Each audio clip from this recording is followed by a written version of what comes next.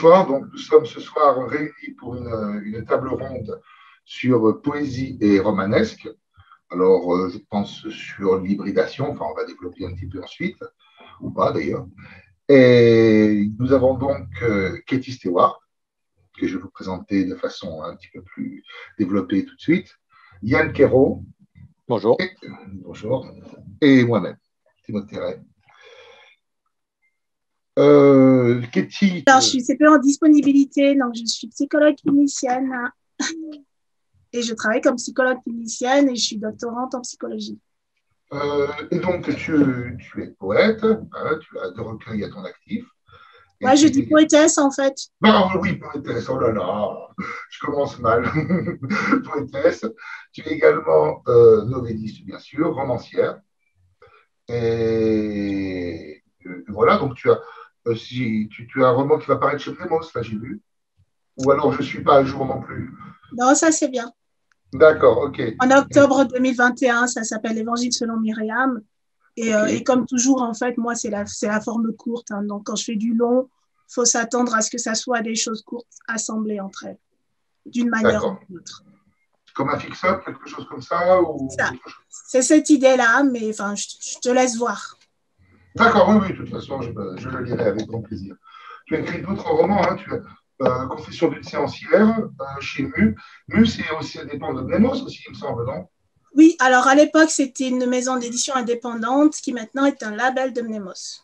Ok, voilà. Après, tu as écrit un roman, je pense, de, littérature blanche, je ne sais pas, euh, noir sur blanc. Oui, c'est un livre autobiographique. Ok. Donc, c'est de l'horreur. Ah oui ok. Et, euh, et, donc, recueil de nouvelles, et puis tu as pas mal de nouvelles aussi euh, dans des anthologies. Donc, une, on est voisins d'anthologie euh, dans euh, ça. Marmite et micro-ondes. Yes, Marmite et micro-ondes, sur, euh, où j'ai lu ta nouvelle, et je vais en parler ensuite, parce qu'il y a un travail sur la forme, j'ai trouvé vachement intéressant et très, très marrant. et donc, voilà pour ta présentation. Alors, Yann, pour ta part, donc, tu, as, tu es né au Nouveau-Mexique, pas loin de Roswell, auparavant. Ah, j'ai vécu là-bas. Je ne suis pas né là-bas, mais. Ah, d'accord, tu, as vécu là-bas.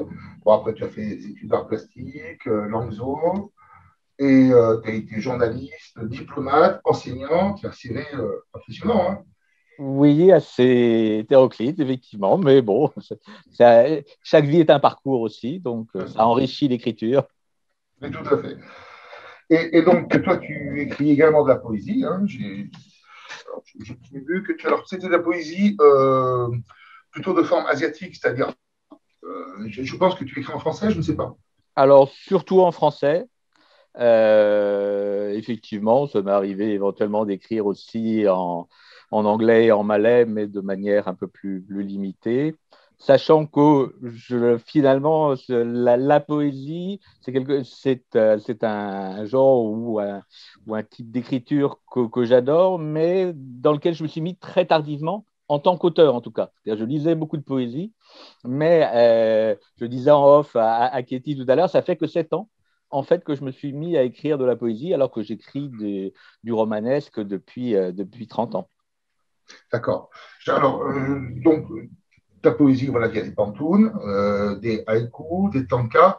Alors, si je me rappelle bien, le haïku, c'est en fait euh, la première partie d'un tanka, c'est ça hein, Voilà, ce sont les trois premiers vers d'un tanka. Le, tanka a, a, cinq, euh, a, cinq, vers et le haïku est un dérivé simplifié plus dans la, la poésie japonaise contemporaine qui n'a gardé que les trois premiers vers. Les trois premiers étant souvent supposés donner une allusion ou une ambiance ou une idée et euh, les deux suivants l'explicitant. Donc, euh, c'est une simplification en fait aussi pour ne garder que l'image. Ah, d'accord, et c'est donc forcément plus allusif aussi. Voilà. Euh, d'accord. Ah oui, ce qui peut être une, force, une, force dans ce genre de forme. Après, tu es romancier, novelliste, esséniste, anthologiste. Alors, romancier, je me rappelle, moi, j'ai lu qu'un seul de tes romans, Le procès de Jean Blanc que j'avais chroniqué pour euh, Les Vagabonds du Rêve, il y a, il y a un certain nombre d'années, j'avais bien aimé. Et là, en regardant, voir un petit peu, euh, je lirai avec plaisir, euh, je, vais, aussi le trouver, enfin, oui, Planète 7, la chaîne Bière Blanche, où il y a l'esprit du jeu de haut, donc ça doit être assez, assez passionnant. Et là, ton dernier roman, c'est apparemment, peut-être dis-moi si je me trompe, hein, L'impératrice secrète du Japon chez Jourdan. Voilà, c'est effectivement dont je parlerai parce que c'est celui dans lequel euh, j'ai introduit d'ailleurs le plus de poésie et où la poésie est vraiment au cœur de, de, l'intrigue du roman. Ah, formidable, on sera au cœur vraiment de la thématique là, de, la table ronde de ce soir, sur poésie romanesque. Alors, j'ai vu, vu pour tes essais, il y a euh, un essai sur Robida, euh, un article sur Pierre Boulle, un sur la carte Kirchweiss, c'est assez étonnant cette fameuse, carte turque là, qui, euh, où, l'on verrait. Euh, je n'ai pas lu donc, mon, article parce que j'en savais depuis c'est que euh, dès la, Renaissance, on connaîtrait la découpe des côtes de l'Antarctique. Oui, alors c'est tout à fait exagéré. C'est-à-dire qu'en fait, quand on regarde la vraie carte de, l'amiral Piri Reis, donc qui est un amiral turc du, du début du XVIe siècle, la carte n'est pas du tout précise. Et donc, il y, a, eu tout un fantasme autour d'une pseudo-précision de, euh, de, cette carte. Et en fait, et, en plus, qui ne montre que, que la, partie, euh, la partie occidentale, c'est-à-dire l'Europe, un bout de l'Amérique avec le Brésil et un bout de l'Antarctique. Et en fait, moi, j'ai retrouvé l'original, qui est une carte portugaise qui montre aussi la partie orientale avec, euh, avec le reste de l'Afrique et l'Asie. Oh, comme c'est alléchant, ça, effectivement. Euh, il y, a quelque chose, bon, bah, je fais une parenthèse, ça fait très longtemps que je travaille euh, l'idée, mais je n'ai pas le temps, et puis j'y passe beaucoup de temps, euh, sur l'imaginaire des cartes, et puis la géographie et la fiction, la géographie-fiction, quelque chose comme ça, parce qu'il y a vraiment énormément de choses. tu, es également donc, anthologiste, hein, j'ai vu chez, chez principalement. Alors, ce qui est très amusant, c'est que j'ai discuté l'autre jour avec mon père, qui s'appelle Jean-Claude Ray, et qui me dit mais J'ai un thèse qui a été retenu par quelqu'un, je ne sais pas si tu le connais, monsieur qui s'appelle Yann Kéro, dans son anthologie sur sexualité et imaginaire. Et je dis ah, ça c'est incroyable, parce que je suis dans une table ronde avec lui la semaine prochaine. donc, oui, tu as une nouvelle de mon papa, qui me semble, il a dû me la faire lire, c'est autour d'Alice au Pays des Merveilles, il me semble. Hmm. Hein, qui, et donc voilà, j'en ai parlé à Hélène Marqueto qui m'a dit qu'est-ce que le monde est petit. Voilà, bah, c'est une anthologie. Alors là, j'y suis en tant que directeur de collection, mais l'anthologie elle-même euh, est dirigée par Jean-Pierre Fontana. D'accord. Qui était le euh, directeur de Lunatique, c'est ça, hein, si je ne dis pas d'annerie. La revue Lunatique. Ou pas Oui, En fait, Katie, tu le connais, toi hein Jean-Pierre, oui. Oui. Parce qu'il travaille avec Galaxy aussi. Il travaille dans, dans Galaxy, oui. C'est ça. Alors, euh, j'avais une première question, je pose, bon, bah, c'est soit Katie, soit Yann, hein. parce que déjà, vous vous voyez plutôt comme poétesse ou poète, ou plutôt comme euh, auteur euh, de prose ou autrice de prose Je ne suis pas présenté du tout. je, peux répondre, mais c'est typiquement le genre de question où je ne je choisis pas dans la vie. Tu sais, j'ai fait des maths, j'écris des bouquins, enfin, tu vois, je ne choisis pas. Quoi. Euh, je, suis euh, antillaise, je suis tout, quoi. Donc, euh, pour moi, il n'y a pas de choix particulier, c'est vraiment, euh, c'est vraiment dans les intentions qu'il va y avoir une différence. je ne vais pas me tourner vers la poésie de la même manière que je vais me tourner vers la prose, sachant que mes textes étant courts, il y a aussi moyen de directement mélanger les deux et de faire un travail un travail sur la langue. Bah, tu parlais de, de mon texte des Goustibous, où il y a eu clairement une, envie de travailler quelque chose de la langue sur ce format qui est plutôt, euh, plutôt court, mais c'est une nouvelle, quoi, qui raconte quand même une histoire. Euh, on parlait de confession d'une séancière. Confession d'une séancière, alors c'est presque un fix-up mais bon, on va dire que c'est un recueil de nouvelles sur euh, le surnaturel des Antilles, donc c'est du fantastique.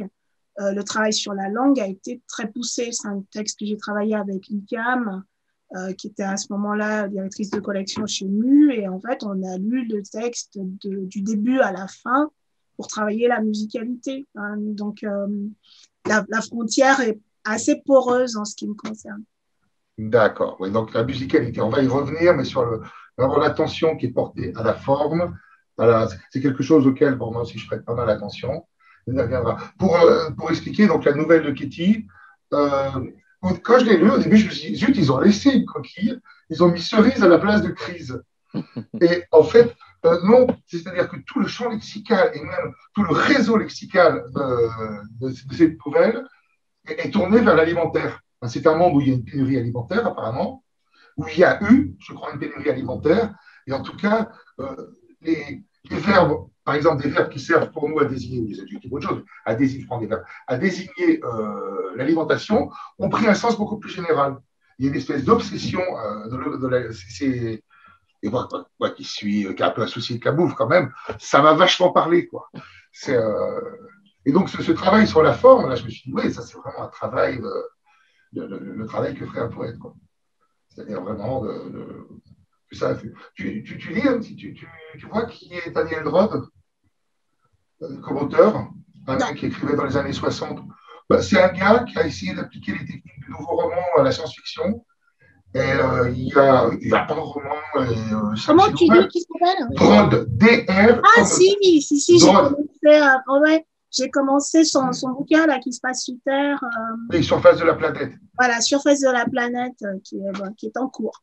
Voilà, c'est pas, pas ce qu'a fait de mieux, ces nouvelles sont chouettes. Il y a La Rose des Énervants, il y a un Vamazur nommé Palazir, je crois que c'est un véhicule martien intelligent qui part en, qui part en sucette. Et c'est assez marrant, quoi. Et ça, bon, tes recherches m'ont fait un peu, euh, dans ce texte-là, m'ont fait penser à ça. Et il y a aussi, alors attends, comment il s'appelle le gars qui avait écrit Chien bleu couronné? Ah, flûte. Milési, Raymond Milési, qui avait écrit des, une nouvelle dans un vieux galaxie, euh, enfin je veux dire des, galaxies nouvelles séries, mais avant Pierre Gévard, ceux où c'était Stéphanie Nicon et Duniac et tout ça.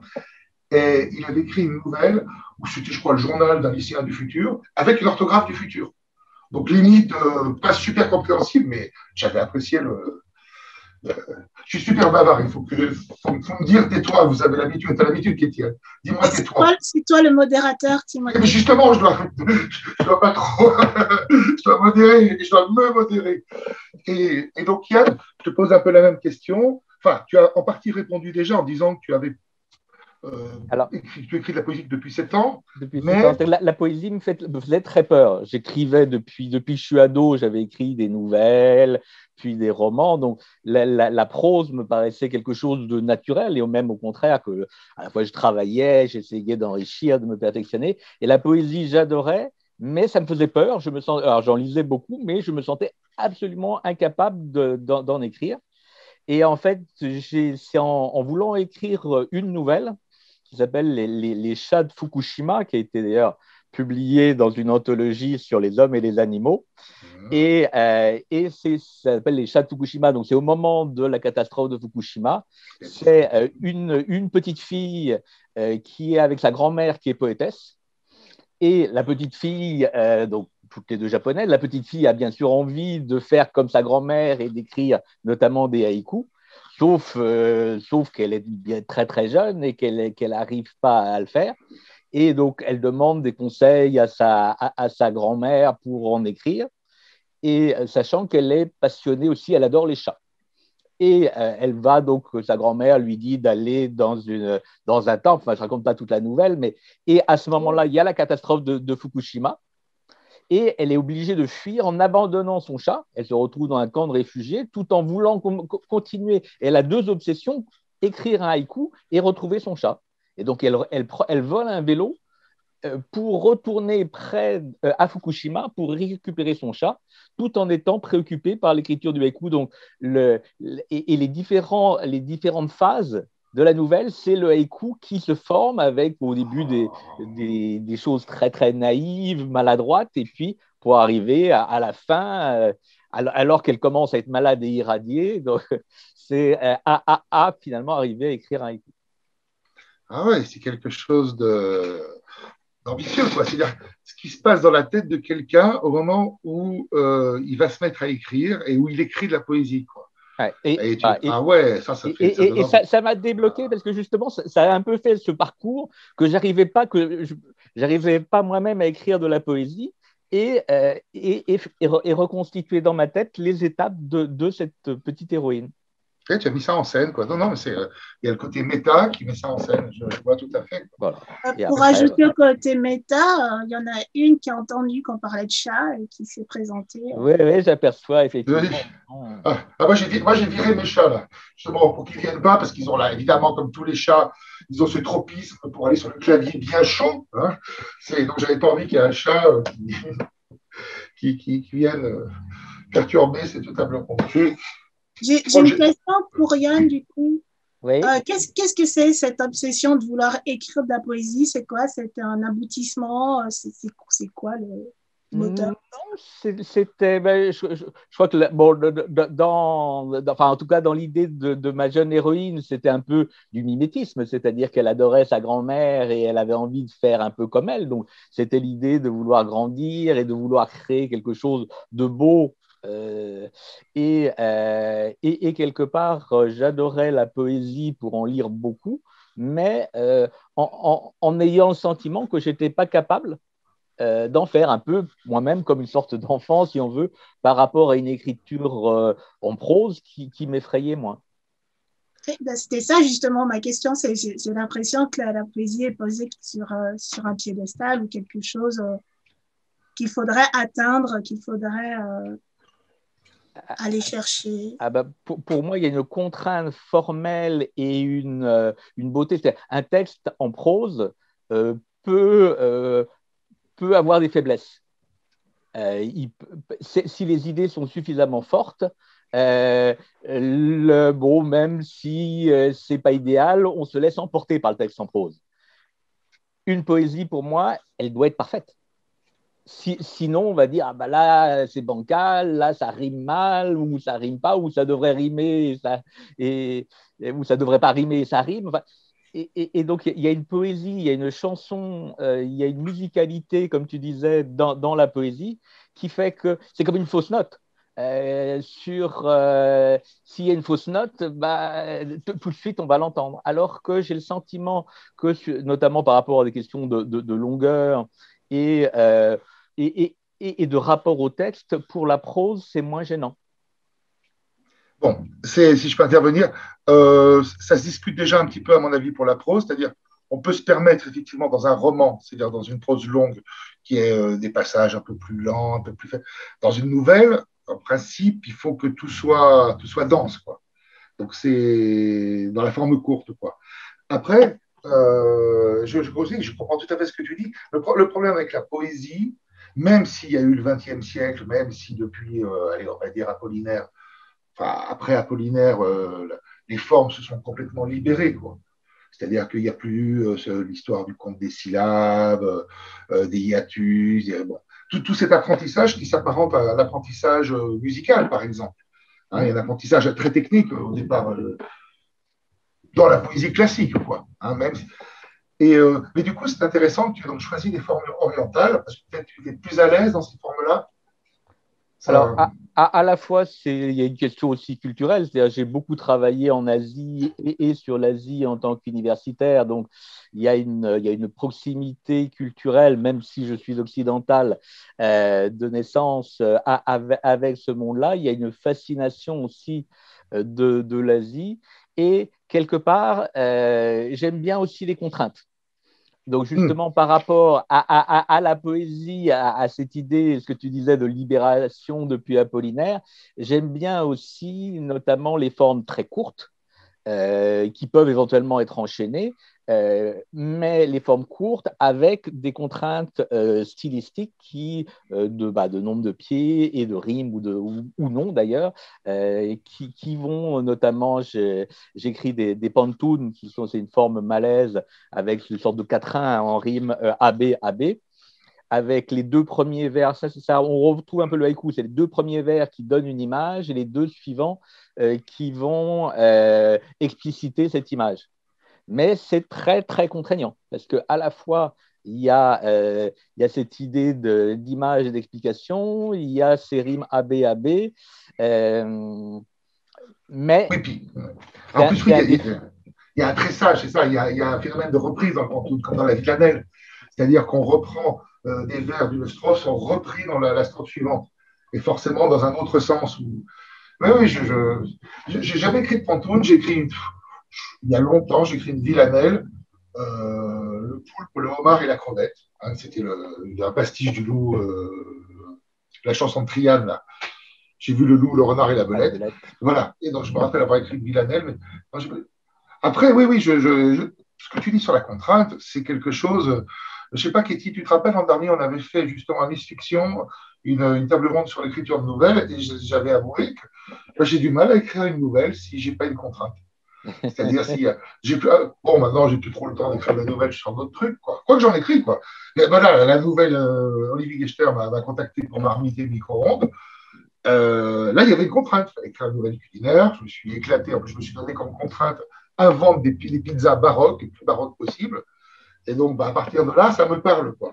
Et c'est vrai que c'est quelque chose euh, qui, voilà, il faut que je sorte un peu de ça, justement, de cette contrainte qui fait. Et à un moment, moi, c'est ça. Moi, euh, l'immense liberté de tout ce qui est possible m'effraie un petit peu et j'aime bien avoir une contrainte. C'est pour ça que j'adore l'Oulipo. Alors, si, tu veux, si tu veux des contraintes, euh, il faut que tu viennes sur Twitter. ah. euh, je fais Right Ever. Et d'ailleurs, pour Nice Fiction, euh, s'il y a des gens qui nous écoutent et qui ne participent pas, on a fait un, un nice right ever avec les mots qui, qui, vont avec le thème du, du festival là, pour ces trois jours.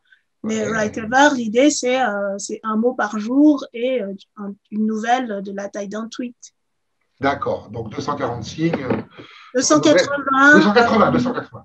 Moi, le hashtag obligatoire, là, ça ah fait six mois que j'en fais, tu vois. Ah c'est super, c'est super. Non, voilà, ça, la forme courte, c'est génial, c'est quelque chose. Effectivement, sur les Right Ever, il m'arrive. Euh, alors, en général, c'est quand, quand j'ai pas l'idée, euh, super idée qui va faire une nouvelle, parce que j'essaie toujours que ça fasse une nouvelle euh, qui raconte vraiment une histoire. Quand j'ai pas l'idée du siècle, je fais de la poésie. D'accord. Dans, le même ordre d'esprit, il, y a aussi les, les pépins. Euh, ah oui. Pépin. Et donc, moi, je sais régulièrement, j'ai même été euh, dans les finalistes pour, pour, une nouvelle. Et justement, c'était une nouvelle que j'avais écrite en forme de deux pantounes articulées, puisque une des particularités du prix Pépin aussi, c'est qu'il faut que ce soit euh, une nouvelle en 300 signes maximum, titre compris. Donc, c'est très, très contraint, presque comme, comme, comme un tweet. Et donc, bon, j'ai fait, fait des, des micro-nouvelles comme ça sous forme euh, de euh, prose, mais aussi, euh, c'est une qui avait, été, qui avait été retenue, par, qui a été publiée en Galaxy, la revue Galaxy, sur, c'était deux pantounes enchaînées. Ah, mais je sais la dire, tiens. J'avais un participant, le mois dernier et le mois d'avant, il y a eu un participant de Writever qui faisait uniquement des haïkus. Alors, Katie, comment ça s'écrit? Parce que je. Write Write comme écrire, tu vois. Ok, ouais. Et, euh, le E, V-E-R. Right ever. Right ever. OK. Écrire toujours, mais en mots valise, comprimé. Après, le souci, c'est que mon téléphone portable, c'est ça. C'est un truc à clapet pour grand-père. Twitter, tu sur ordinateur aussi. Hein. Ah oui, on peut. Euh, OK. Je, suis super noob en particulier avec Twitter, c'est quelque chose qui m'intéresse. Je me rappelle avoir participé de 2012 à 2016 à la microphéméride. Je ne sais pas si ça vous dit quelque chose. Oh. C'était Jacques Franté-Alba qui. Il fallait écrire euh, un texte de 1000 signes maximum qui correspondait à un événement qui avait lieu tel ou tel jour. Et l'idée, c'était de faire une éphéméride de 365. C'était avec Vincent Corlet, ça, non? Il a dû participer aussi, Vincent. Oui, mais à la fin, Vincent Corlet était dans l'affaire. Il y avait aussi Sandrine de, de qui, parce que j'avais affaire à elle comme correctrice, et c'était une correctrice formidable sourcilleuse, mais justement, c'est génial, une correctrice. Euh, alors, je voulais juste parler un tout petit peu de Banca, quand même. D'abord, je ne me suis pas présenté, voilà, bon, j'écris des nouvelles, euh, des romans, euh, j'écris de la poésie. Euh, là, je suis plutôt sur. J'ai découvert, j'avais bien traduit. Plutôt, je suis une grosse brêle en anglais, mais c'est pas pareil. Pouvoir discuter en anglais et traduire de l'anglais vers le français, et donc là, j'ai traduit, euh, bah, j'ai profité un peu des confinements euh, successifs pour traduire un auteur, d'abord du Fritz Leiber, un auteur euh, classique de SF américaine. Et là, je, suis sur Abraham Davidson, qui est un auteur totalement oublié et qui est absolument génial. Et donc, Fred Weib, enfin, Ça doit se faire normalement chez Mnemos, la traduite d'un roman de fantasy bizarroïde d'Avram Davidson, euh, soit l'an prochain, soit l'année d'après encore. Là, je suis sur un autre truc d'Avram Davidson. Et, donc, moi, euh, pour, revenir à la poésie, en fait, euh, j'ai commencé par ça pendant très longtemps. C'est-à-dire que je lisais énormément à partir de mes 10-11 ans. J'ai commencé à découvrir la science-fiction, la fantasy, tout ça. Enfin, c'était surtout la science-fiction. Hein. C'était à, la fin des années 70, hein, j'ai 54 ans. et je lisais énormément de ça. Et de temps en temps, une atmosphère. Je notais un petit bout de truc sur un bout de papier et je me disais, tiens, ça ferait une histoire de science-fiction. Puis un jour, je me rappelle très bien de ce jour-là. Euh, J'habitais à Haute-Savoie, mais j'allais faire un tour en Italie avec mes parents. Et au retour, je me suis dit, mais en fait, j'écris de la poésie. J'ai réalisé qu'en fait, j'écrivais de la poésie. Et en fait, je, suis un poète. Je ne me suis pas dit ça vraiment comme ça, mais il y, avait. Et pendant longtemps, euh, je n'ai écrit que de la poésie. J'ai écrit cinq recueils, genre que je continue d'en écrire. Là, je suis sur un recueil euh, que dans ma tête, ça me distrait, c'est presque un péché, c'est-à-dire que je fais de la poésie par gourmandise, alors que je devrais faire absolument l'article que j'ai promis ou la nouvelle que j'ai promis, et non, je m'autorise cette espèce de, respiration. Donc c'est marrant parce que c'est un peu le contraire de ce que tu dis, Yann.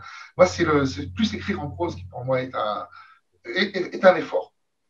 Alors c'est quelque chose qui m'est vraiment naturel. Et puis, euh, c'est un peu comme pour prendre une photo. C'est-à-dire qu'il y a un instant il y a un truc magique qui se passe à un moment précis, que ce soit euh, un paysage, une interaction avec quelqu'un, un truc avec mes, chats, mon chien, mon un lapin. et il faut que je photographie, mais à l'aide de cet outil spécial qu'est le poème. C'est pour ça que le haïku m'intéresse, parce que le haïku, il y a l'idée d'attraper l'air du temps, la saison ou l'heure, et puis de faire une sorte de flash poétique. Ah, j'ai écrit des. Oui.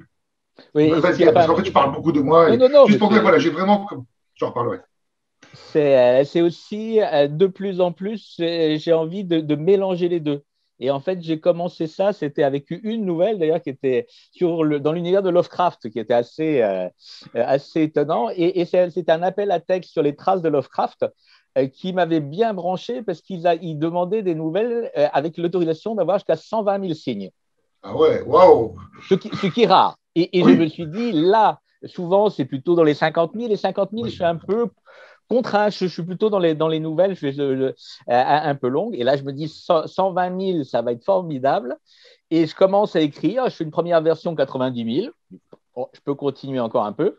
Deuxième version 110 000. Je dis, oh tiens, et je suis arrivé en fait à 160 000. J'ai failli, j'ai failli en faire une, d'ailleurs un roman parce qu'il me pas voilà. chose. Et, je l'aurais écrit en disant, euh, voilà, je, euh, je, je, sais que j'ai dépassé, mais je peux en faire un roman, mais comme je l'ai écrit pour cet appel à texte, si vous voulez. ils ont dit, bah, envoyez-le toujours. Et j'ai envoyé, ils l'ont pris, donc j'ai été publié. Et comment, en quoi c'est une nouvelle, euh, un truc aussi grand? Bah, c'est une novella plutôt, c'est-à-dire. Et, en fait, surtout, ce qui m'a intéressé, c'était d'introduire des textes dans les textes. Et notamment, comme c'est l'univers de Lovecraft, euh, pour les, gens qui connaissent bien, il parle toujours d'un poète fou, Abdul euh, al-Azred. et finalement, on ne sait pas pourquoi il est fou ni ce qu'il écrit. Et donc, j'ai eu envie euh, d'expliquer comment il devenait fou, qui il était, et, euh, et, de, de, parler de son récit par ses poèmes. C'est-à-dire, c'est un poème biographique sous forme de pantoun euh, qui euh, qui est intégré, donc c'est en fait un professeur un peu, un peu fou à la Lovecraft, en fait, avec son élève, et, euh, et, ils traduisent, donc il y, a, deux textes à l'intérieur de la nouvelle, un, texte qui est ce poème euh, en, en, pantoun, et un autre qui est un fragment de récit de voyage d'un navigateur hispanique. Et euh, ces, deux fragments de texte euh, permettent de trouver là où se trouve la cité des grands anciens euh, au large de San Francisco, puisque c'est de part et d'autre du Pacifique. Et, donc, ça m'a amusé de recréer des poèmes donc, sur le mode Pantoun, qui est un mode un peu du monde malais, donc monde malais musulman, pour un poète fou arabe qui, était, qui était évoqué par Lovecraft. Formidable, ça donne envie de le lire. On a des informations inédites sur Abdul al et ça, c'est vraiment. Voilà, alors je ne suis pas un très bon lecteur, mais je peux vous lire, le, euh, par exemple, un extrait. donc, il parle de l'impératrice Hu Tian, qui était une impératrice qui a effectivement existé au 7e siècle. Donc, c'est Hu Tian au regard d'ambre, sourire aux lèvres acérées. La beauté offre sa part d'ombre à l'hôtel de la cruauté. Reine de la nuit et des festins, dans les palais d'or et de stuc, régale les humbles marins comme les capitaines eunuques. Donc après, c'est tout le monde chinois aussi. Euh. C'est doctosyllabe, hein, là. Oui. Il me semble, c'est un doctosyllabe. Ah. Voilà. Le, le, le, pantoun permettant, le pantoun permettant d'avoir euh, un nombre de syllabes qui peut être, bon, souvent c'est 10, mais ça peut être 8, ça peut être moins. Le tout est, d'avoir généralement un, canon euh, pour, pour l'ensemble du poème. Avec, en plus, si je me rappelle, le dernier vers reprend le premier vers.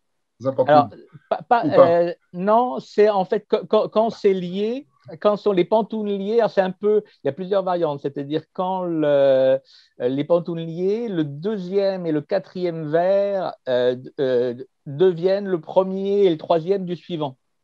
Ah, ok, oui, oui, oui, ça, ça je savais. Ah, oui, je trouve un peu contraignant, donc moi, je, je ne reproduis qu'un des deux vers quand je fais des pantounes liées. Ok, donc oui, un semi-pantoune. Oui, vas-y, vas-y, Katie. Non, parce que je, je, vous vois vous amuser comme des petits fous euh, mon rapport à la poésie est un peu plus tragique, on va dire, euh, parce que moi, j'ai eu besoin de la forme, euh, les rimes, les, toutes, ces contraintes comme ça de rythme. J'en ai eu besoin à un moment pour exprimer des choses difficiles à exprimer. C'était vraiment une recherche de quels sont les mots qui vont pouvoir rendre une émotion que j'ai du mal à décrire.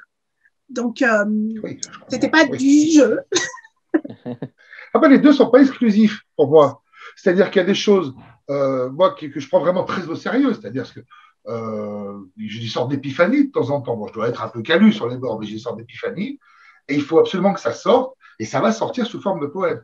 Ça sortira pas sous forme de prose. Ça sortira sous forme de poème, très clairement. Non, mais je, je parle juste de ma pratique. Hein, oui, oui, mais j'entends bien, mais c'est. je ne trouve pas une école. je ne trouve pas une école et je, ne vous invite pas à, faire comme moi, mais c'est sûr que je vous écoutais et je me disais, euh, c'est c'est pas tout à fait ça ma pratique finalement. Euh, euh Il y avait vraiment cette idée de, euh, il y a un truc que je ne peux pas dire euh, simplement, que je n'arrive pas à dire, et que le, la prose un peu mathématique ne, ne, va pas réussir à rendre euh, si je ne passe pas par quelque chose de métaphorique, si je ne passe pas par quelque chose de musical, euh, si je ne passe pas entre les mots, en fait. Voilà, c'est mm. plutôt cette idée-là et c'est plutôt cette chose que je cherchais. Donc ça, c'est vraiment ma première euh, poésie, c'était vraiment ça. Bah, tu, tu as, je ne sais pas appartenir, c'est exactement ça. Ça n'est que ça. Euh, le, dernier recueil qui est euh, Deux saisons en enfer, eh bien, c'est aussi ça plusieurs périodes, mais euh, vraiment cette idée d'exprimer des choses de l'ordre de l'émotion et du sentiment et du, de, se raconter, mais vraiment par des ressentis de moments particuliers. Et l'expérience la plus étrange, ça a été d'écrire des poèmes pour Confession d'une séancière, puisque, alors, je, je, je réexplique ce que c'est une séancière. Une séancière, c'est une personne euh, qu'on peut assimiler à la sorcière aux Antilles, mais avec vraiment ce côté, euh, elle nous aide. Voilà, c'est elle qui nous aide euh, à tout un tas de choses, que ça soit du médical, que ça soit régler un problème pratique ou dans le magique, enfin vraiment sans, sans limite très claire entre ce qui est magique et ce qui est médical, ce qui est du conseil de bonne femme, enfin voilà, tout ce mélange. Et, euh, donc, j'avais eu envie au départ, donc c'était de faire du fantastique en me disant, je sais écrire du fantastique un peu traditionnel avec euh, une peur euh, et un sentiment d'étrangeté, une hésitation entre la folie et le surnaturel. Enfin, voilà. Qu'est-ce que je peux faire de ça en utilisant euh, des créatures des Antilles euh, dont j'ai entendu parler dans des, mythes, des contes, euh, plus ou moins complet. Donc, j'ai complété aussi pas mal de choses. Donc, qu'est-ce que je peux faire de ça? Et en fait, ça a créé en creux un personnage qui est ce personnage de la foncière, qui est toujours présente et qui rôde toujours. Et c'est l'ICAM, quand on a travaillé sur, sur les textes, donc il y a 15 textes différents et rassemblés euh, de manière cohérente, qui me dit, mais c'est bizarre, il est question d'incantation, tu écris de la poésie, il n'y a pas d'incantation. À quoi j'ai répondu, je n'écris plus de poésie. Et j'étais sincère, je n'écris plus de poésie parce que voilà, il me semblait. Oh, j'avais fait 20 ans de psychanalyse, euh, j'étais en train de devenir psychologue, euh, dire les choses, j'avais plus besoin et je ne voyais pas l'utilisation de la poésie, même si ça, m'arrivait encore d'écrire, mais plutôt des chansons, en disant j'écris une chanson. Je savais ce que je C'est quoi la différence pour toi entre chanson et poésie? Ah la, présence de la musique, la manière dont elle vient de manière plus, plus forte. Mais effectivement, il y a certains de mes poèmes qui sont des chansons, d'autres qui n'en seront jamais. Je ne sais pas si je peux décrire ça. Et euh, donc, en tout cas, euh, j'ai dit à, à l'ICAM, j'écris plus de poésie. Je suis désolée, hein, c'est une super idée, mais je n'écris plus de poésie. Et euh, elle, m'a conseillé d'y réfléchir. Elle a bien fait puisqu'un jour, un soir même, ben, j'étais prête. Donc j'ai pris mes feuilles de couleur bleue et mon stylo, euh, et, donc j'ai écrit un à un les 16 textes qui sont là et qui s'intercalent dans les, dans les histoires. Et ils n'ont pas bougé, en fait. Ils ont été écrits, sont sortis tout seuls, à la bonne place, dans le bon ordre. Et, et oui, c'est de la poésie. Oui, oui. Alors, deux petites questions. Euh, tu écris à la main. Hein J'écris à la main, oui. La poésie. Et toi, Yann, c'est à la main la poésie ou c'est à l'ordinateur? Souvent à la main. Souvent à la main. Moi, ça me varie, mais il y a plus de plaisir à l'écrire à la main. Ça dépend ce que j'écris. Si j'écris un poème en vers livre, ouais. Euh, si c'est euh, si un sonnet, j'écris pas mal de sonnets, des choses comme ça. puis j'aime bien maintenant justement jouer à des trucs un peu complexes. c'est vachement plus pratique à l'ordi c'est évite de raturer 50 feuilles. Deuxième question à Kitty. Feuille de couleur bleue, c'est à cause de l'angoisse de la page blanche? C'est pour. Euh, non, pas du tout. En fait, j'ai pas d'angoisse de la page blanche. Du tout. Enfin, j'adore je me jeter dans une page vide. Il n'y a aucun problème avec ça. Euh, par contre, effectivement, euh, j'ai envie de varier. Par moment, je sais qu'il me faut une feuille bleue, donc je prends une feuille bleue. je peux pas. Oh, c'est marrant. Moi, j'ai des feuilles jaunes. Moi, j'ai des feuilles jaunes. Alors, j'en ai plusieurs couleurs. J'en ai plus des jaunes parce que j'ai tout utilisé. Et comme je ne suis plus à l'éducation nationale, je ne peux plus en emprunter. Eh oui. Sur les feuilles de feuilles d'examen. J'en ai plein. J'en pique plein quand c'est la fin d'année. Je trouve ça génial. Je, je, refais mon stock tous les ans. Et je, je, dis là, si mon proviseur me regarde, c'est pas vrai. Hein, je m'étonne. Non, bah, c'est juste, on se retrouve avec ça à la maison, on se dit, tiens, je ne comprends pas comment c'est arrivé là. Et, euh, et donc, effectivement, c'est des couleurs différentes et euh, voilà, par moment, j'ai je, l'intention d'écrire un texte, je vais commencer quelque chose et je vais savoir sa couleur avant de savoir euh, ce que ça va raconter. Ah, c'est comme ça. parlé de ça l'an dernier déjà, de la couleur du texte. Et pas sous cet angle Voilà, voilà un chat aussi. Ah, bonjour C'est un matou, ça. C'est un beau matou, non? Euh, C'est une chatte, mais. Ah, c'est une chatte On célèbre pour un gars Alors, je vois des questions. Est-ce que vous les voyez, les questions qui sont posées? Euh, Il y avait quelque chose sur la contrainte. alors? C'est la fillette euh, qui, qui, apprend les haïkus.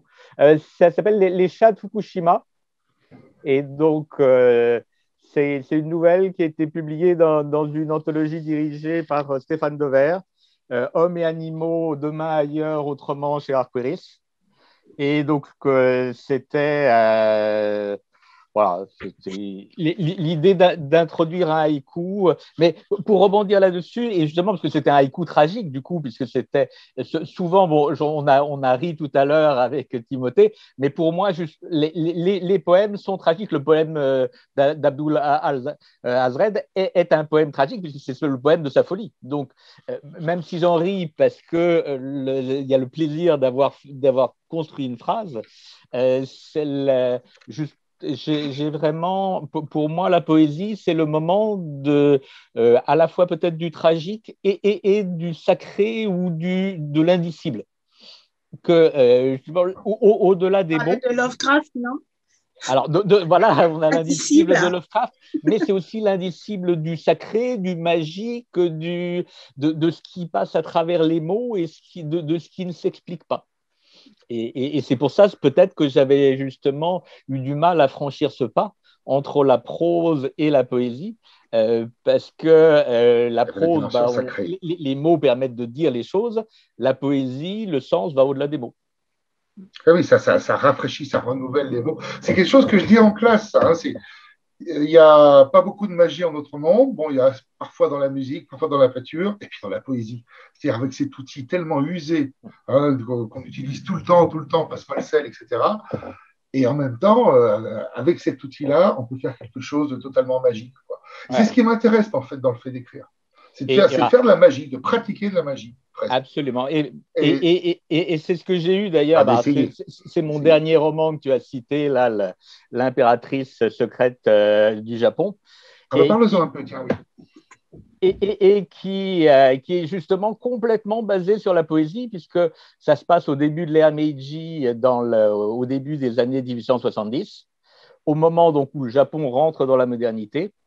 Et euh, l'héroïne, c'est une sœur cadette cachée euh, secrète de l'empereur Meiji, à un moment où euh, justement la famille impériale s'interroge en se disant on est obligé de se moderniser parce que euh, parce qu'il y a la menace occidentale, on va le Japon va être colonisé si, comme est en train de l'être le Vietnam ou la Chine. Donc il faut qu'on se modernise, qu'on devienne aussi fort, qu'on s'arme.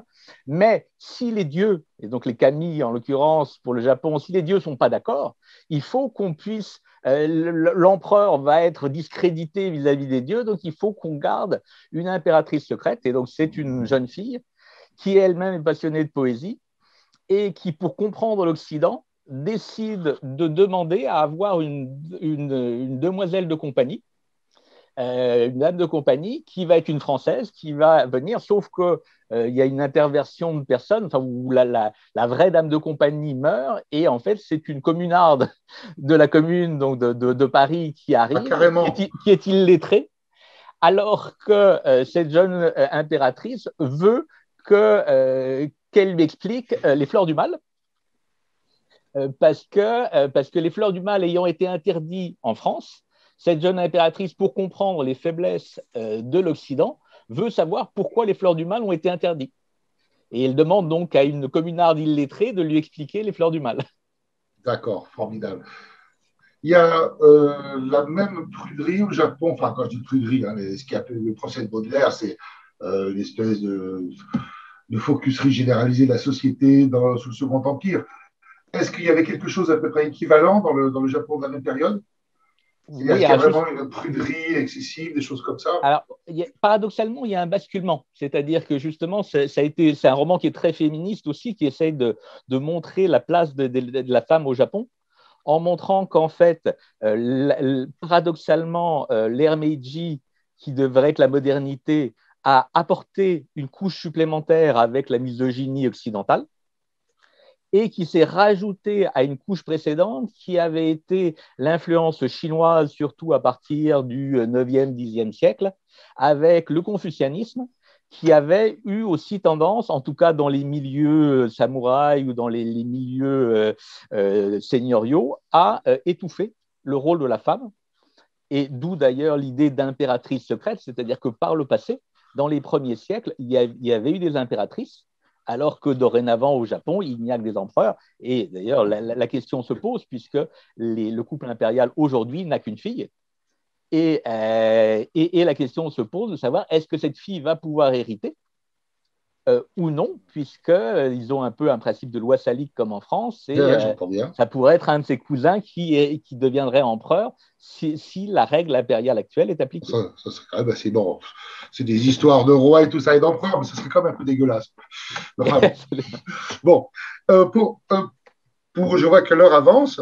Euh, est-ce que vous avez d'autres projets où il y aurait. Alors, bon, je.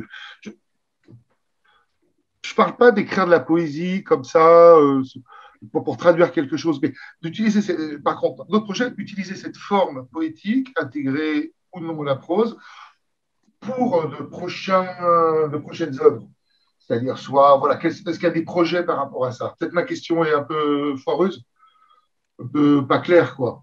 je suis rarement très clair, mais vous voyez ce que je veux dire, quoi. Est-ce que dans vos projets, vous, comptez. apparemment, euh, Là, tu as, tu as mélangé, enfin, tu as mêlé du romanesque dans l'histoire de la séancière et de, de, l'incantation. Je n'ai pas compris, tu disais c'est de l'incantation ou ce n'est pas de l'incantation? Alors, on parlait d'incantation parce qu'il était question de sorcellerie. Et incantation, on est quand même d'accord qu'il y a de la chanson dedans. Oui, oui, ben oui quand. voilà. Et donc, ce sont, il y a des poèmes, en fait, entre chaque récit. D'accord. D'accord. Tu, tu, tu, as tressé prose, poésie, prose, poésie. C'est ça. Et tu, veux renouveler ça? Tu as, as, des projets futurs dans lesquels tu, où tu jouerais avec une idée semblable, ou tu développerais ça un peu autrement? Je ne sais pas, hein, je, pose la question. Euh, alors, en fait, en ce moment, on est en train. Alors, l'ICAM et moi, encore l'ICAM. Hein. je ne sais même pas si j'ai le droit de parler de ça parce que ce n'est pas un vrai projet. C'est quelque chose qu'on tente, mais on, se fait, on se fait un dialogue poétique, en fait, en ce moment. Euh, qui, est, qui, est, parti en fait sur l'idée de la folie et qui est en train, là on doit être à une dizaine de poèmes chacune, euh, qui est en train d'arriver sur ce que c'est l'écriture. Waouh Donc elle est à côté méta. Mais elle t'envoie un poème et tu y réponds ou bien ça se croise sans... C'est ça, et j'ai derrière moi d'ailleurs euh, ah. réponse un peu en retard. Euh par rapport à son texte, euh, son dernier texte. Alors, je ne fais pas toujours comme ça, mais là, j'ai eu envie. Donc, j'ai imprimé ce qu'elle m'a envoyé. Ouais. Et ben là, vous voyez, c'est propre, hein, c'est sorti tout seul. J'ai raturé deux fois, trois fois. C'est du premier jet, ça? Ouais, ouais, ouais. Wow C'est ce matin au réveil. Ouais. C'est tout frais. Donc, euh, donc, voilà, après, je vais mettre au propre et puis je lui enverrai. Alors parfois, quand je mets au propre, souvent, j'intervertis pour avoir une gradation ou pour avoir, euh, voilà, en termes de force. Mais, mais voilà, on fait ça, c'est euh, très amusant. Ça pose, déjà, c'est génial comme idée, vraiment, ça me plaît beaucoup. Ça, ça, me fait poser une question. Tu, souvent, ça vient comme ça sans que tu retouches trop? Et après, je poserai la même question à Yann. Je parle de poésie. C'est-à-dire que ça s'écrit relativement, je ne vais pas dire tout seul, quoi. Il y a une sorte de vanne à un moment qui s'ouvre et ça a l'air de se déverser. Enfin, je sais pas. Ça, dépend. Vraiment, ça, dépend. Euh, il y a des moments où c'est. Euh, ça se construit doucement dans la tête pendant que je marche. Ah. Euh, pendant que je prends ma douche. Ouais, pareil, voilà, dans les Pendant que je fais la vaisselle, voilà, ces moments où on fait des choses tellement machinales que, que ça travaille tout seul. On, parenthèse, on ne dira jamais assez de bien du fait de faire la vaisselle. Pareil, quand je sèche, allez, je vais faire une petite vaisselle, et ça me récure la tête. En même temps que je récure les assiettes et tout. C'est pour ça que je me sers très peu du lave-vaisselle. Ma, douce euh, ne comprend pas trop. D'ailleurs, bon, elle pense que je suis technophobe, ce qui est un peu vrai.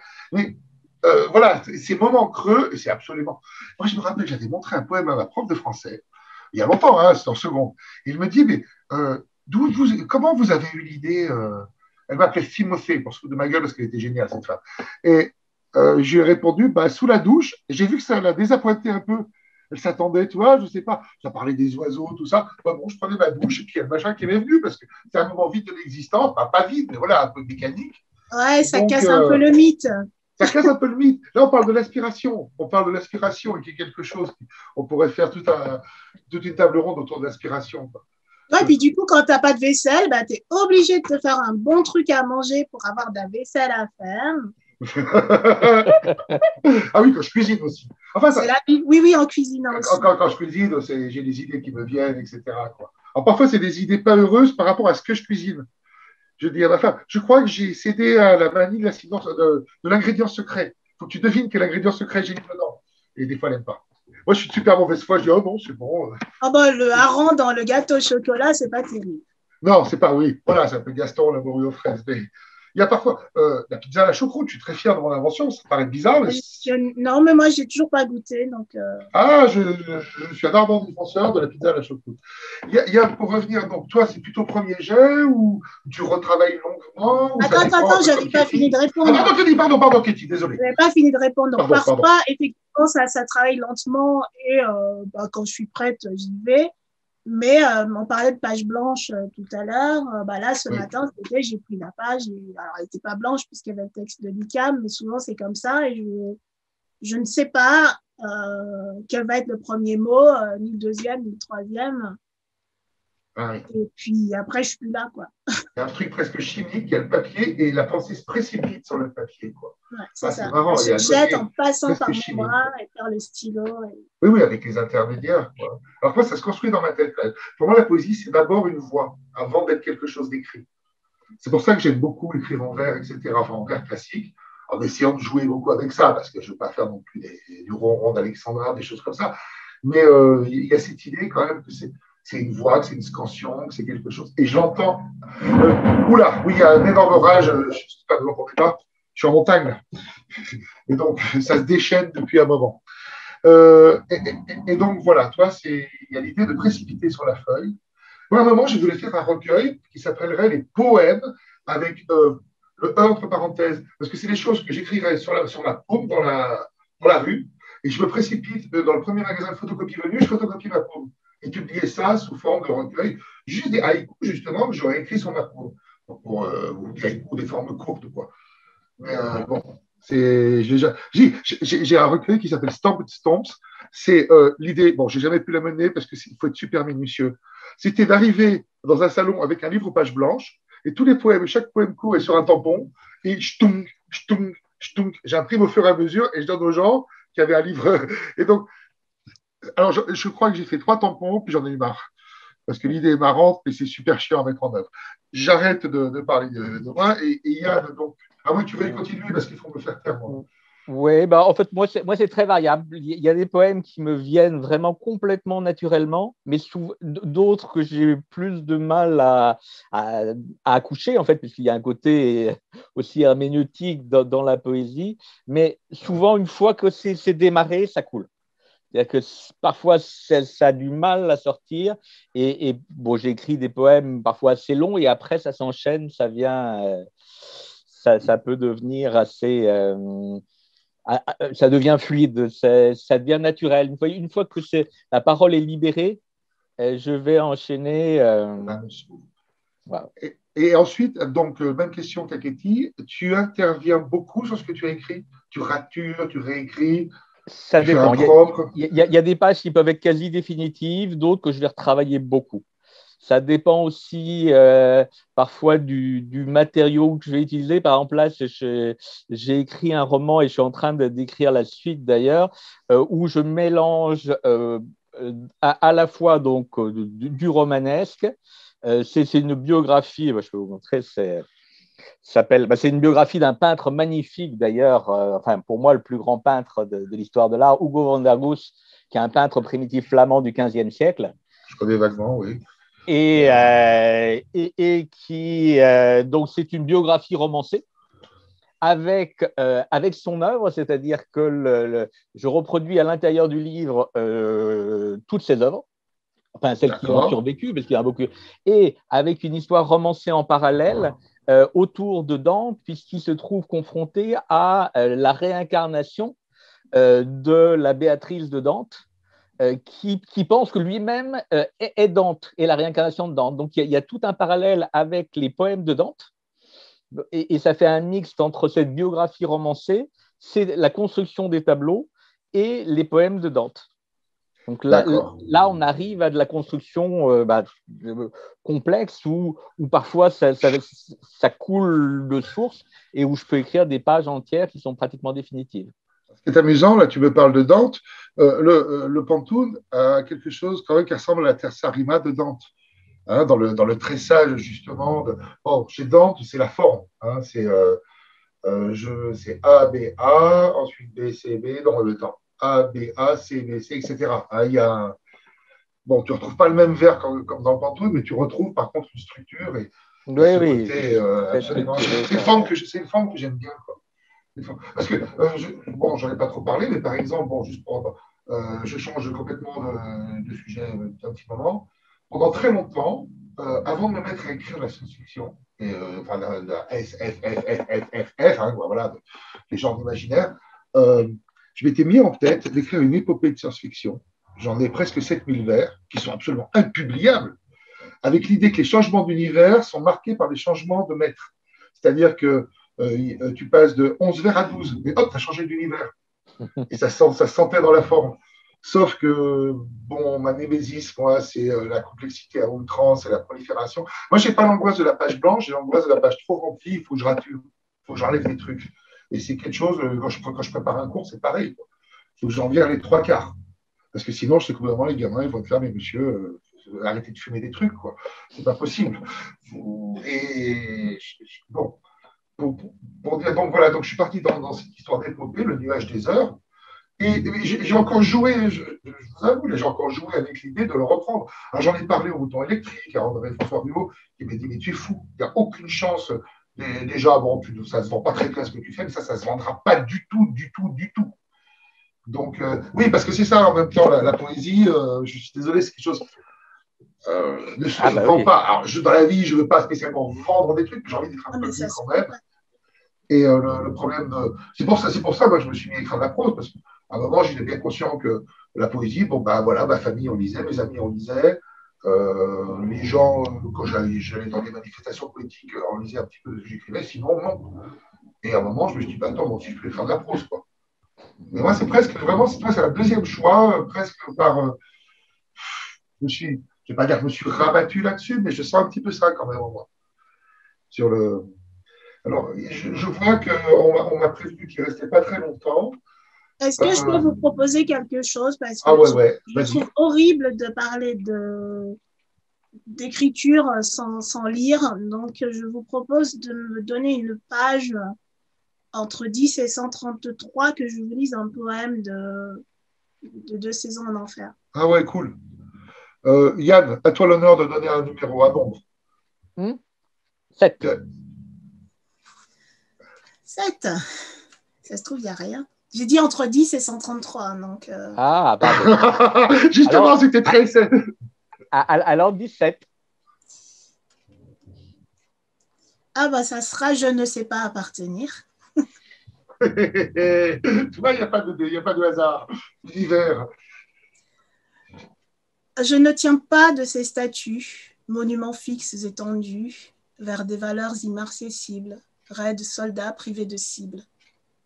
Je ne sais pas appartenir à vos principes, à vos combats, dignes disciples de saint Thomas, juste bien faire et voir venir. Je ne suis pas de vos anneaux, tendre cerclage de bourreaux, cours de sourires imperturbables, figés d'agréments immuables. Je ne sais pas appartenir à vos estimes et à vos goûts, amis intimes à vos genoux, juste être là du rire au pire.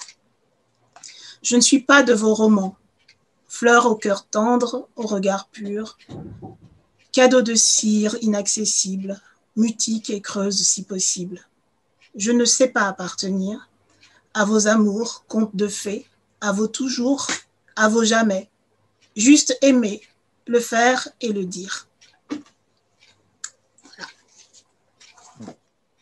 Très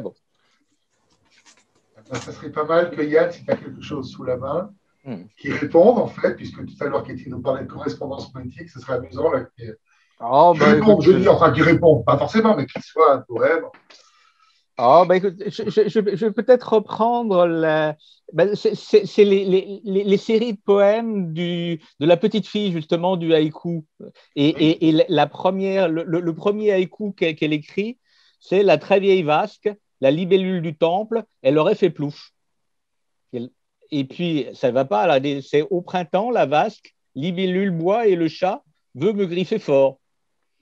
Et puis après, ben, ça va pas. Donc elle commence. La, mer est en feu, le petit chat est perdu.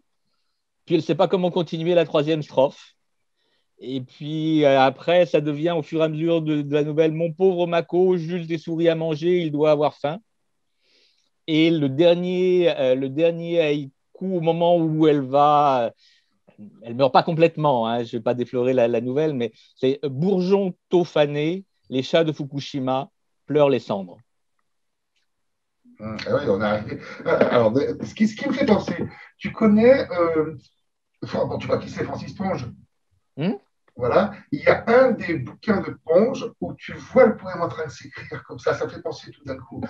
Euh, c'est pas le parti pris des choses, c'est pas dans c'est pas la rage de l'expression. Si ça doit être dans la rage de l'expression, en poésie Gallimard, où, euh, pareil, tu vois qu'il il, essaye, puis non, ça va pas, et puis je vais dire autre chose, et puis non, ça va pas. Et c'est marrant d'arriver par petites touches.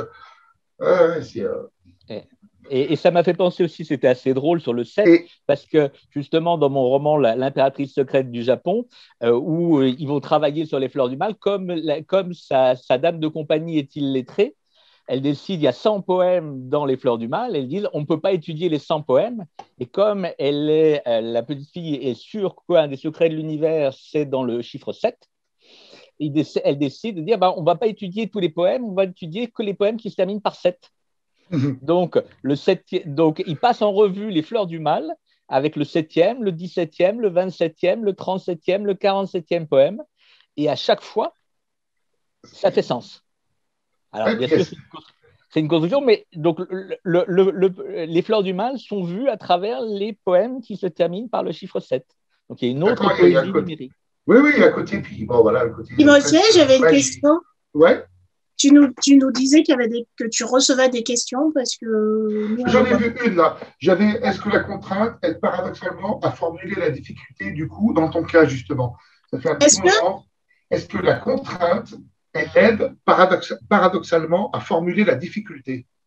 tu as, tu as répondu, je pense. pas. ouais, je ne dirais pas la difficulté d'ailleurs, mais enfin à formuler les choses. Euh, oui, voilà. Pas facile à formuler, effectivement. Il y a vraiment ce côté. Euh, il faut qu'il existe quelque chose.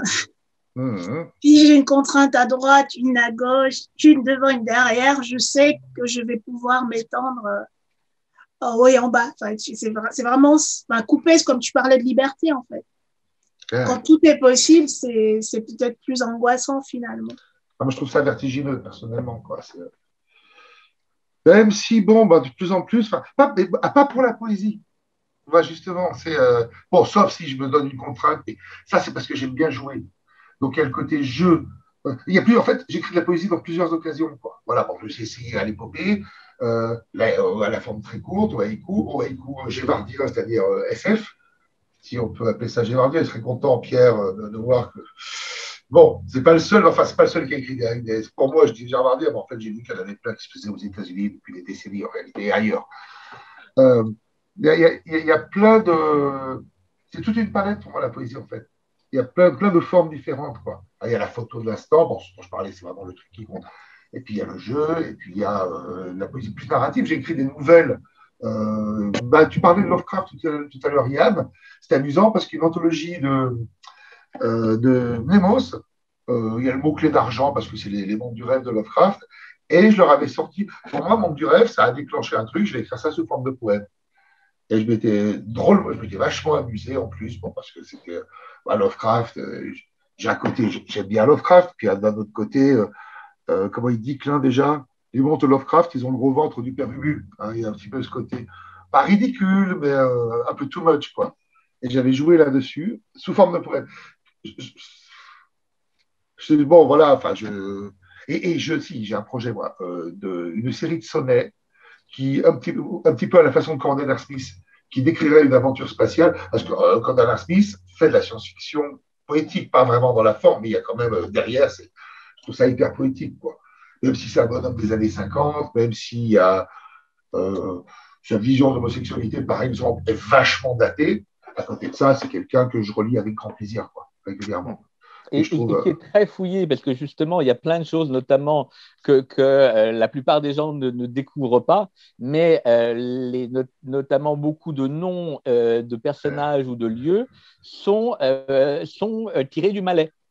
Ah oui, c'est ça, c'est quelqu'un qui a beaucoup vécu en Asie, c'est ça. Voilà, et, en fait, donc en fait, on comprend des choses quand on connaît le malais, on comprend un certain nombre de clins d'œil que ah, Godwin Smith a, mis dans ses romans, euh, mais qui, sont, euh, qui, sont euh, invisibles pour, bah, pour, pour, ceux qui ne vont pas connaître, connaître la langue. Oh, tu sais quoi, Yann, ça serait extraordinaire un article, parce que je pense qu'il n'y a pas beaucoup de gens qui écrivent de la SFFFF en France qui maîtrisent le malais, un article pour Galaxy ou pour cette fiction est relancée par Christine Luce Hmm. Elle relance la revue fiction.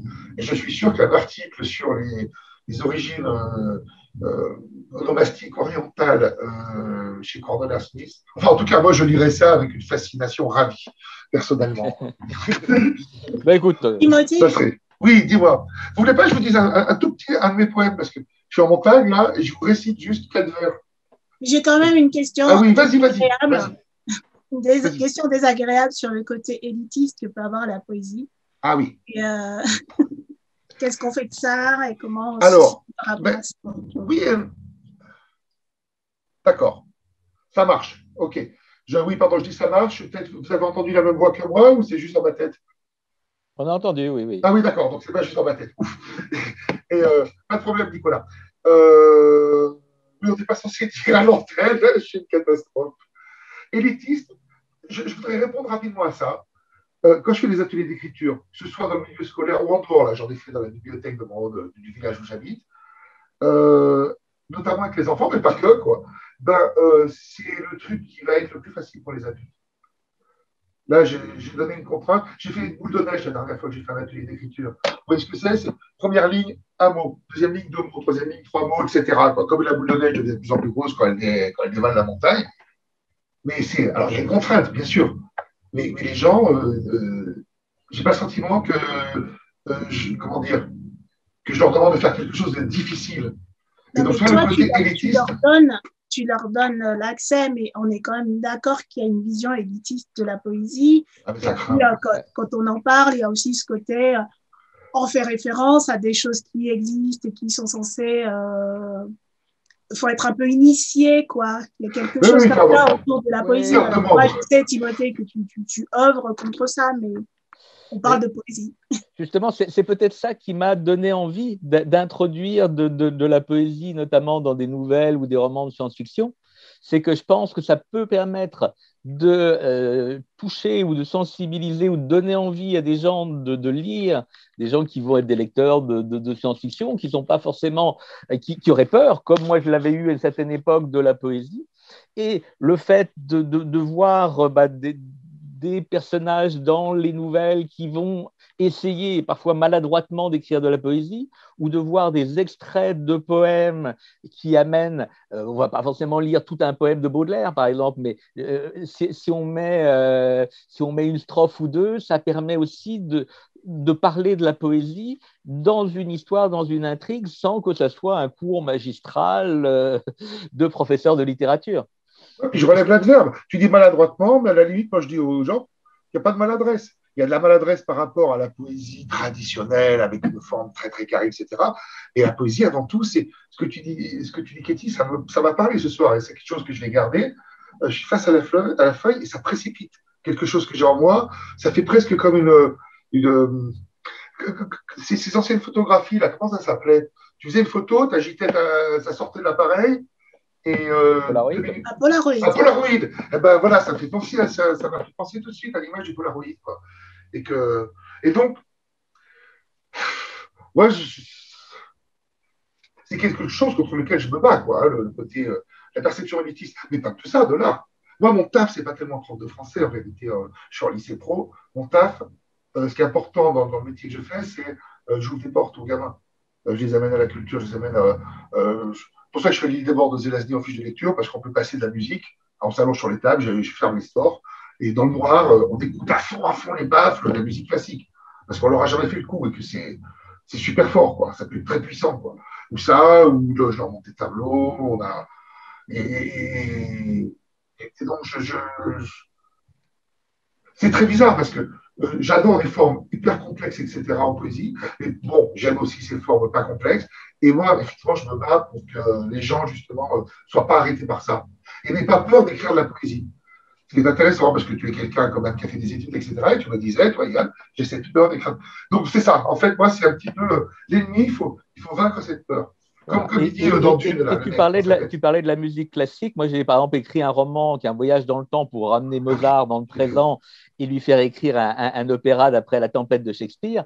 Euh, et, euh, mais l'idée aussi, c'était de montrer que Mozart, qui a une image un petit peu chez les jeunes de musique classique, c'était un révolté il n'y a pas plus révolté par rapport à sa société. Mozart, c'était justement, il, il, était, c'était un musicien considéré comme un valet euh, qui était maltraité et, et, devait se battre pour faire écouter sa musique, qui était en plus considérée comme trop complexe à l'époque.